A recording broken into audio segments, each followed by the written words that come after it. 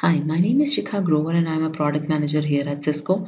I work with the Cisco Web Security Appliance and Security Management Appliance. This is an update on the revisions made to System Health Dashboard on uh, Async OS 14.0. So why uh, the SMA System Health Dashboard? Uh, System Health Dashboard on the SMA was introduced to provide the admins with an interface to keep a check on the health status of all the WSAs in the network in a single dashboard.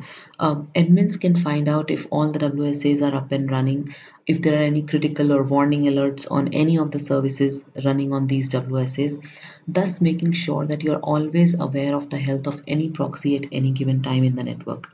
Let me take you to an SMA box and show you uh, what I'm talking about.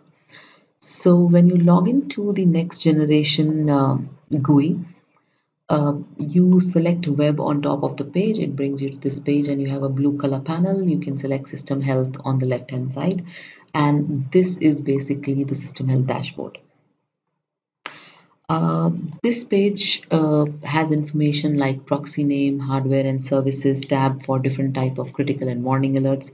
You can also check uh, uh peak RPS, peak decrypted RPS, client connection, server connection, etc. So this information is very handy and important when troubleshooting performance issues on a box or to figure out a trend. For example, if the numbers go up during a particular time of the day or if there is more load on one proxy than the others, you can check the trends and compare to find out the reasons for the differences and troubleshoot a particular box. Um, you can choose to filter data on the based on these three time ranges day yesterday and a custom range uh, system dashboard can show up to one week's uh, data which you can choose uh, to view from the custom range here however if you added a WSA to this SMA only yesterday then only one day's data would be available um, you also have an option to hide the traffic summary. Uh, admins can choose to click the checkbox and filter to see only the proxy name and hardware and services tab. The right hand side of the screen will be totally hidden.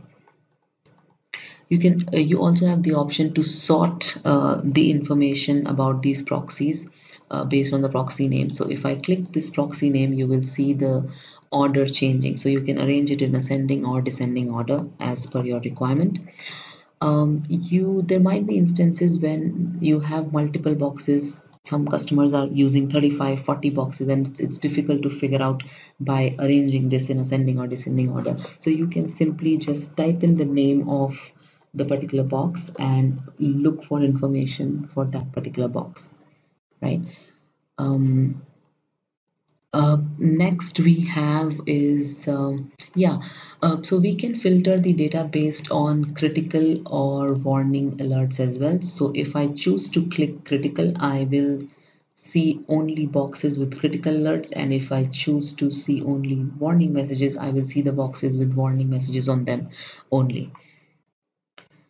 Uh, next uh, we have is um, when you click on these icons, the warning icons or the critical icons, there will be a pop-up which will be displayed and you have the uh, alert messages on that particular service, name of the service and the alert message and the time timeline for that message. If you go ahead and click on the name of uh, that service, uh, you will uh, have another pop-up with timestamps, log level, alert messages along with the recipient of that alert message. Uh, the selected alert will be highlighted in blue color. If you click on uh, the critical alert again, you see that you have uh, go to this particular WSA here. If you click this particular uh, uh, hyperlink, it will take you to this WSA for you to troubleshoot further.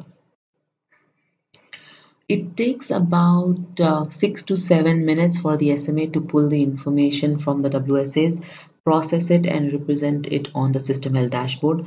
Uh, the SMA can keep up to 4000 alerts for a particular device at any given time or for seven days, whichever is reached first. This brings us to the end of my video. Uh, thank you for your time in case you have any queries, please reach out to wsa-pm at cisco.com or wsa-tme at cisco.com. Thank you.